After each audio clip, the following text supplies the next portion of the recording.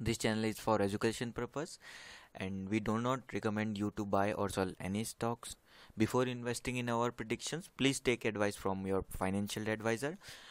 We are not responsible for any of your profit and losses. So आप सभी का आपके अपने YouTube चैनल इन्वेस्ट में तो चलिए सबसे पहले हम 29 अक्टूबर के लिए जो मैंने आपको स्टॉक्स दिए थे टेलीग्राम प्लस यूट्यूब में उन सबका हम रिव्यू कर लेते हैं अगर आप अभी तक टेलीग्राम चैनल पे ज्वाइन नहीं है तो डिस्क्रिप्शन में आपको टेलीग्राम चैनल का लिंक मिल जाएगा आप टेलीग्राम चैनल पे ज्वाइन हो जाइए तो देखिए, जो दो स्टॉक हमने, पहले दो स्टॉक आपको यूट्यूब पे दिए थे, वो था M N M N M G L जिसमें हमारा एम जी एल में देखिए शुरुआत में मतलब फ़र्स्ट में, जब मार्केट स्टार्ट हुआ तो हमारा बाई साइड का एस एल हिट हो गया। उसके बाद हमारा जो अब एंड होते होते हमारा first target price easily achieve हो गया था। बाकी तो आपको कोई भी जो देखिए, पहला टारगेट प्राइस है वो मैं स्मॉल रखता हूँ क्योंकि आजकल जो है मार्केट में इतनी वॉल्टिलिटी नहीं है कि आपको अच्छा टारगेट मिल पाए। तो मैं पहला टारगेट प्राइस स्मॉल रखता हूँ, अपने न्यू ईयर्स को एक बार बता दूँ, ताकि अगर गैप अप ओपन हो या फिर गैप डाउन ओपन हो तो भी हमारे टारगेट जो है ईजिली रिकवर करने के बाद अचीव हो जाए। इन्फी में बात करूँ, इन्फी में हमारा बाई साइड और शॉर्ट सेलिंग साइड के दोनों के एक ही टारगेट प्राइस अचीव हो पाए। बड़ा स्टॉक है, हालाँकि मूवमेंट इसे ज़्यादा दिखानी चाहिए थी बट होल्ड लेके चला तो अब हम भी क्या कर सकते हैं इसमें? वॉल्टिलिटी नहीं थी। ग्लैन मार्क में हमारे शॉर्ट सेलिंग साइड के तीनों टारगेट प्राइस इजीली अचीव हो गए थे। मैंने टेलीग्राम चैनल पे ये स्टॉक्स दिए थे। अगर आप टेलीग्राम चैनल पे ज्वाइन नहीं है तो डिस्क्रिप्शन में आपको लिंक मिल जाएगा। टेलीग्राम चैनल पर ज्वाइन हो जाइए। टेलीग्राम चैनल पर मॉर्निंग में मैं दो कॉल्स प्रोवाइड करता हूँ daily twenty October two thousand twenty के लिए जो स्टॉक्स मैंने आपके लिए चुना है, पहला है स्प्ला जिसे आप बाय करके चलेंगे सेवन सिक्सटी फाइव पे। सेवन सिक्सटी फाइव का जब लेवल ब्रेकआउट होगा, उससे पहले मैं आपको अब इन्फी में दिखा देता हूँ। तो देखिए, जैसे ये इन्फी का चार्ट मैंने आपको खोल दिया है तो देखिए कभी कभार क्या होती है कंडीशन बहुत बहुत टाइम में ऐसी कंडीशन होती है, जैसे ये ओपन हुआ यहाँ पे ओपन होने के बाद इसने डाउन आया डाउन आने के बाद दोबारा ऊपर बढ़ा और इसने हमारे बाई साइड का टारगेट ईजिली अचीव कर दिया था।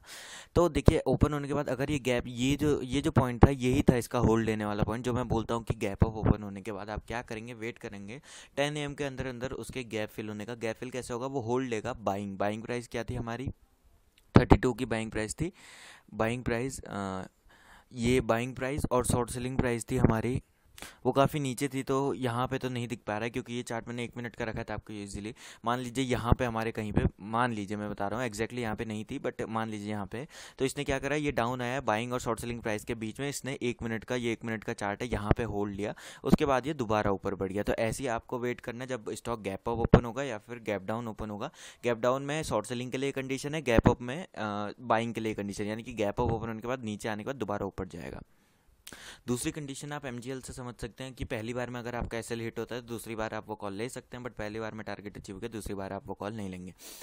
पहली बार में एसएल हिट होने के बाद दोबारा कॉल कैसे ले सकते हैं? मतलब मान लीजिए पहली बार लेवल ब्रेकआउट हुआ एस हिट हो गया, दोबारा से वो लेवल ब्रेकआउट होता है तो आप कॉल ले सकते हैं अगर एस हिट हुआ है पहली बार में तो दूसरी बार में, पहली बार में अगर टारगेट अचीव हो गया, दूसरी बार वो कॉल नहीं लेंगे।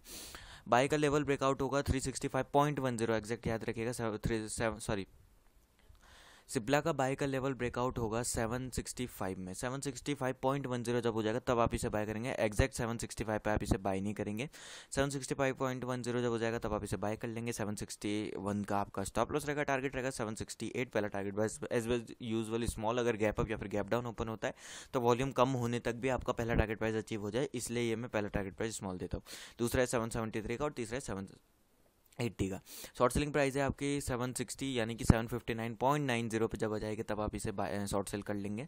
स्टॉप लॉस रहेगा आपका सेवन सिक्सटी फोर का टारगेट रहेगा seven fifty eight, seven fifty five और सेवन फिफ्टी का। ध्यान रखेंगे। बाकी चीज़ मैं आपको बता दूँ, अगर आप छोटे शेयर प्राइस इतने बड़े स्टॉक्स में नहीं ट्रेड कर पाते, आपको छोटे शेयर प्राइस वाले स्टॉक्स चाहिए तो आप मुझे कॉन्टैक्ट कर लीजिए। डिस्क्रिप्शन में आपको हमारा व्हाट्सअप नंबर मिल जाएगा। बाकी की डिटेल्स मैं आपको व्हाट्सअप पर सेंड कर दूँगा। आप हमारे साथ ज्वाइन होना चाहते हैं डिस्क्रिप्शन में व्हाट्सअप का नंबर है, आप मुझे कॉन्टैक्ट कर सकते हैं। टेलीग्राम चैनल पर ज्वाइन ज़रूर हो जाएगा। मॉर्निंग में मैं कॉल्स प्रोवाइड करता हूँ। आरती इंडस्ट्रीज़ में आप बाय करके चलेंगे, जब लेवल ब्रेकआउट होगा नाइन सेवेंटी नाइन का। स्टॉप लॉस रहेगा 974 टारगेट रहेगा 983 990 और 1006 का। शॉर्ट सेलिंग प्राइस रहेगी 973 की, स्टॉप लॉस रहेगा 978 टारगेट रहेगा 970 962 और 955 का।